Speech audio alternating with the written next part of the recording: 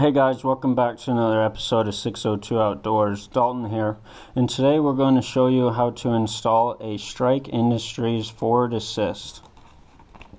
Here it is from Strike Industries. It comes in this little bag. The package includes the Forward Assist plunger, the Forward Assist pawl, which is already installed, Forward Assist spring, and the Forward Assist spring pin. I got it in flat dark earth.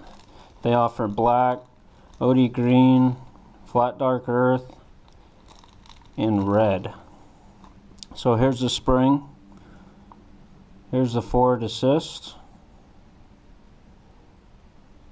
And the pin that comes with it, but we're going to use the pin that's already in the gun.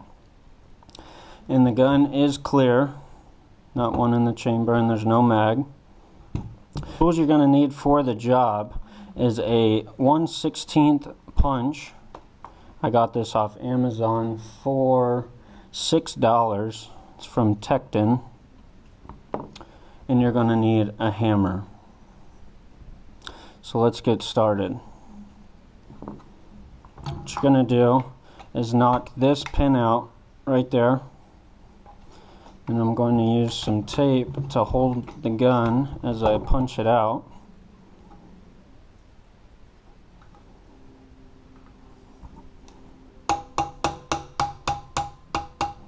And the forward assist will pop out since it's spring and there's a detent in there, just like that.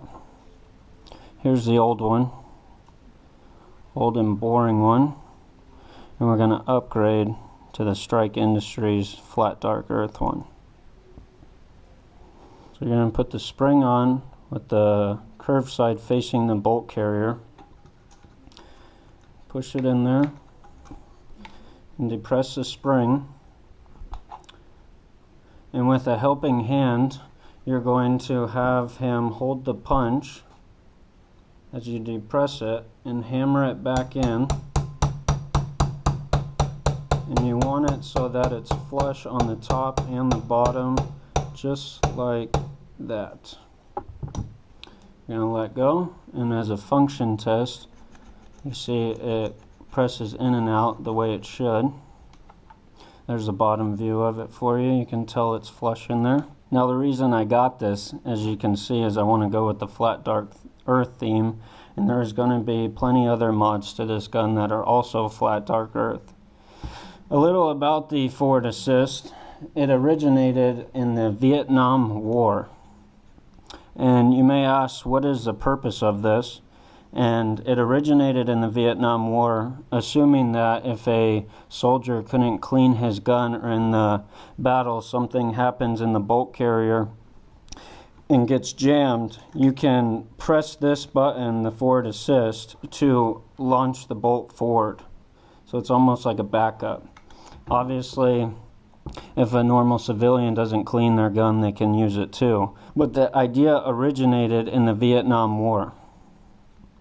I picked this up from wingtactical.com for $21.90 and that was including shipping. So with that installed guys, that completes this episode of 602 Outdoors. I hope you like it.